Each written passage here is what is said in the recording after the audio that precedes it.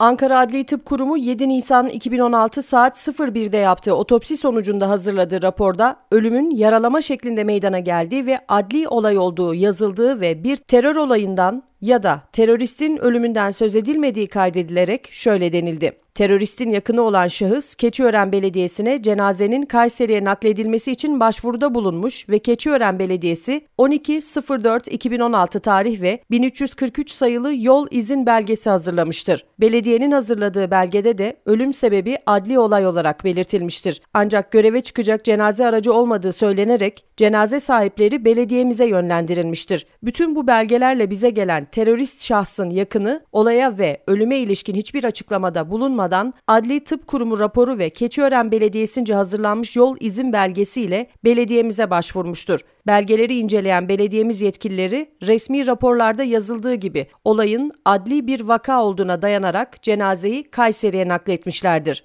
Bütün bu gerçekler ışığında Çankaya Belediyesi olarak kamu kurum ve kuruluşlarından alınan belgelerle cenaze taşındığı ifade edilen açıklamada cenazenin bir teröriste ait olduğunun daha sonra yerel medyadan öğrenildiği belirtildi.